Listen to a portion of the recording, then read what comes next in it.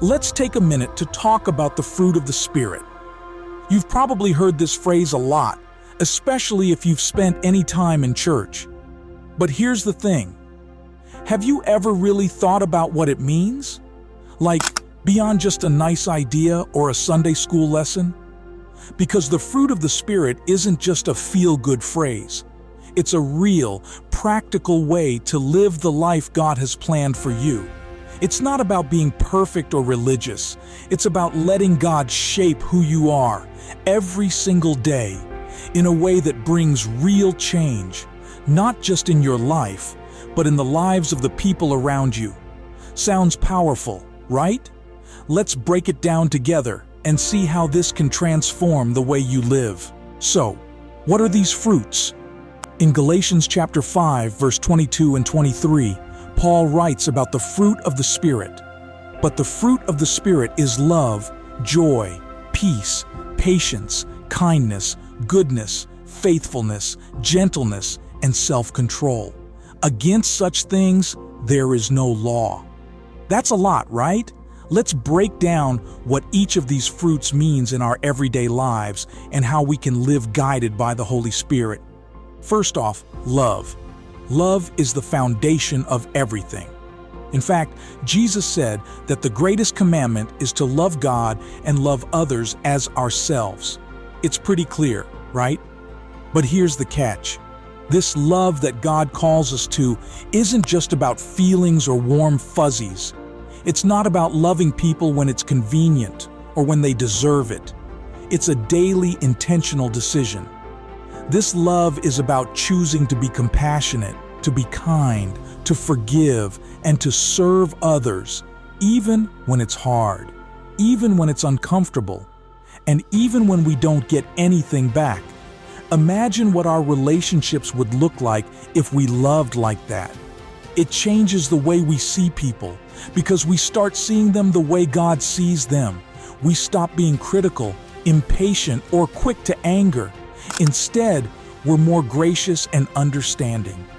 That's what happens when the Holy Spirit fills us with this kind of love. It transforms our hearts and our relationships. Next, we have joy. Now, let's clear something up.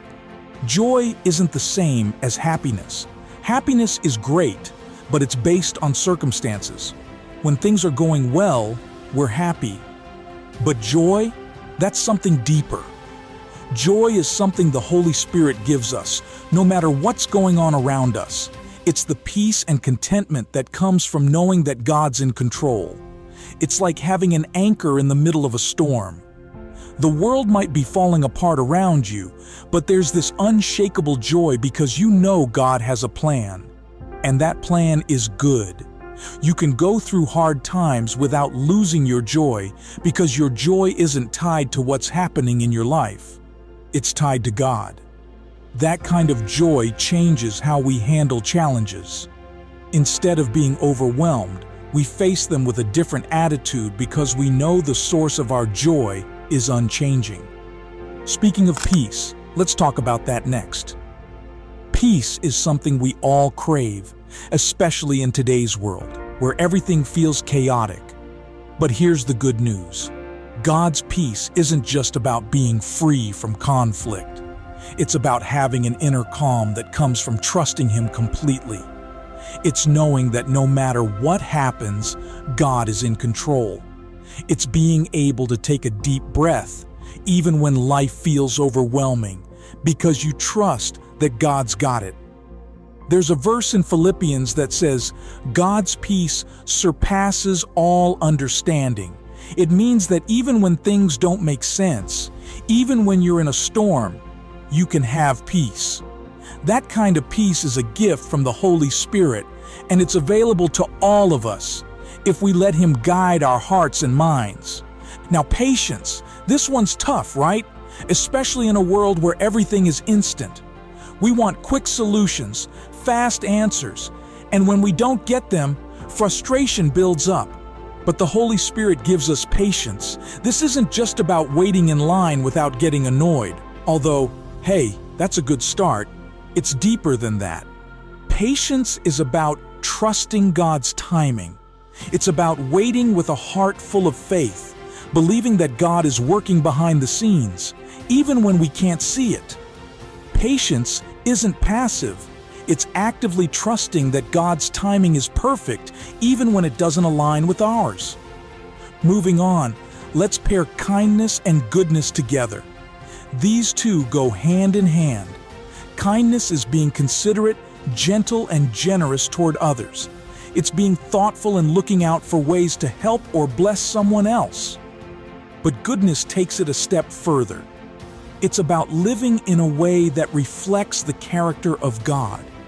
It's doing the right thing, even when no one is watching, even when it's hard.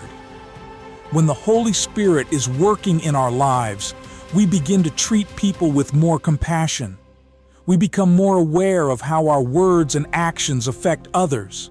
We start living in a way that honors God, and that's the beauty of goodness. Let's talk about faithfulness next. This is all about trusting in God, even when you don't have all the answers. Sometimes life doesn't go the way we expect. Sometimes our prayers seem unanswered, and it's easy to doubt.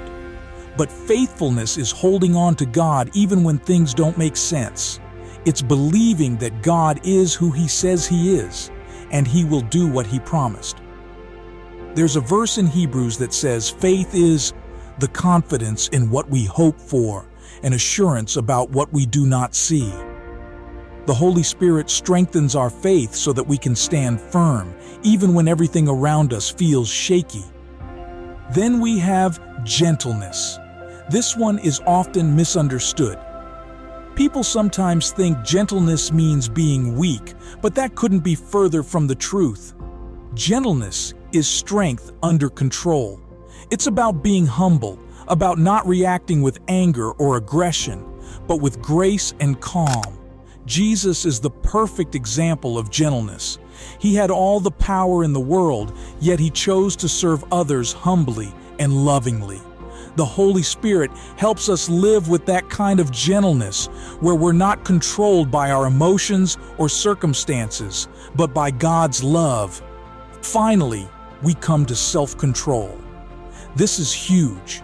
Without self-control, it's hard to live according to God's will. Self-control helps us say no to the things that pull us away from God. It helps us stay focused on what really matters.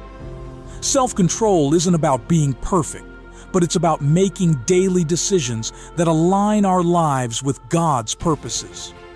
The Holy Spirit empowers us to have control over our desires, our words, and our actions, helping us live in a way that honors God. Here's the thing.